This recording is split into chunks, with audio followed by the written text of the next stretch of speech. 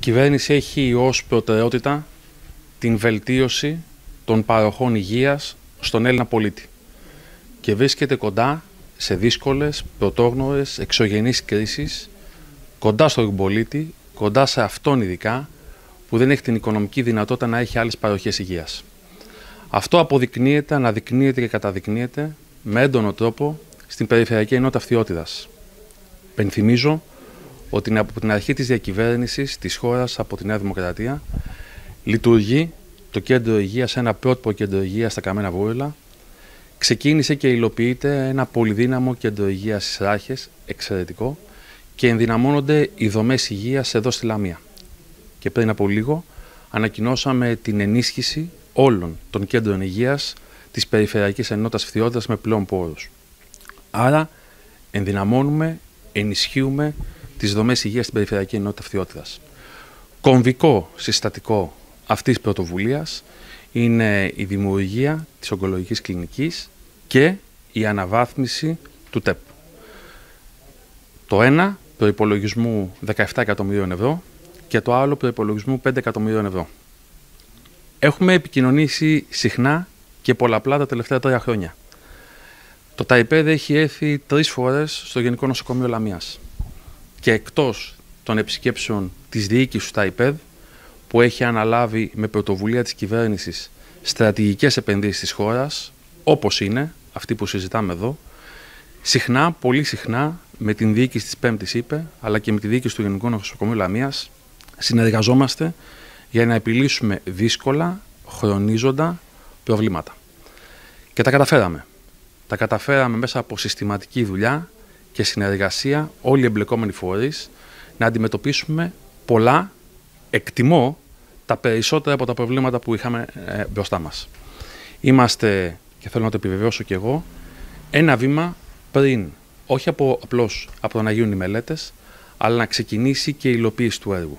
Η υλοποίηση του έργου που εκτιμώ με ρεαλισμό ότι μπορεί να ξεκινήσει μέσα στο 2023 και να υλοποιηθεί μέχρι το τέλος του 2025. Τόσο το ένα έργο όσο και το άλλο έργο.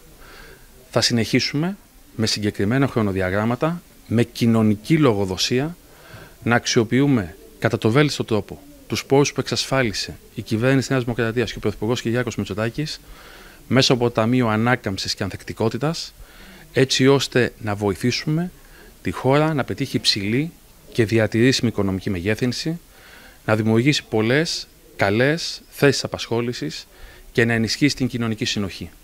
Και η βελτίωση των παρεχόμενων υπηρεσιών στους πολίτες είναι στοιχείο ενίσχυσης της κοινωνικής συνοχής. Συνεχίζουμε με μεθοδικότητα, με χρονοδιαγράμματα, με συνεργασία, με σύνεση, με συνέπεια και με μετριοπάθεια. Είμαστε για άλλη μια φορά εδώ, παρουσία του Υπουργού Οικονομικών, του κ. Σταϊκούρα, του Περιφερειάρχη της ΥΠΕ και του Διοικητή και των Τυχών Υπηρεσιών του Νοσοκομείου. Αυτή τη φορά όμως είμαστε ένα βήμα μπροστά. Ε, με μεγάλη χαρά θέλω να σας πω ότι έχουν λυθεί πολλά γραφειοκρατικά προβλήματα τα οποία ε, ήταν προαπαιτούμενο να ολοκληρωθούν προκειμένου το έργο να βγει στη τελική του φάση που είναι η ολοκλήρωση της μελέτης.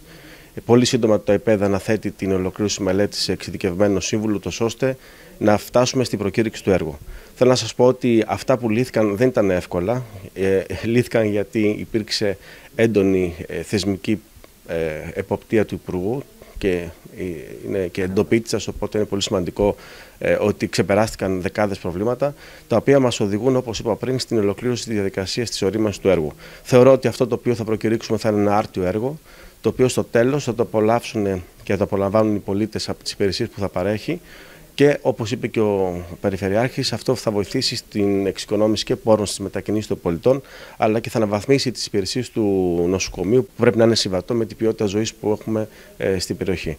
Εμείς θα κάνουμε ό,τι είναι δυνατόν, να έχουμε ένα ποιοτικό έργο. Το ΤΑΙΠΕΔ γι' αυτό είναι στην παρούσα φάση αυτή τη σύμβαση, να διασφαλίσει τη διαφάνεια, τη ταχύτητα και την ποιότητα του παραδοτέου προς τους ε, πολίτες και προς την πολιτεία. Τελειώνοντας τις προπαρασκευαστικές εργασίες που έπρεπε να γίνουν τόσο για τη μαελέτη κατασκευή του νέου κτηρίου της ακτινοθεραπείας και κλινικής ογκολογίας, αλλά και του Τμήματος Επιγόντων Περιστατικών, με πρωτοβουλία του Υπουργού Οικονομικών και τη συμμετοχή της πέμπτης, του διοικητή της 5ης Υγειονομικής Περιφέρεια, του Προέδρου του ΤΑΙΠΕΔ, της Τεχνικής Υπηρεσίας του Νοσοκομείου Λαμίας αλλά και μου, οριοθετήσαμε και συγκεκριμενοποιήσαμε τα επόμενα βήματα προς υλοποίηση των στόχων που δεν είναι οι άλλοι της ε, αναμόρφωσης του χάρτη υγείας τόσο για τον τοπικό πληθυσμό όσο και ευρύτερα στην περιοχή της Φθιώτιδας και συγκεκριμένα του νοσοκομείου Λαμίας.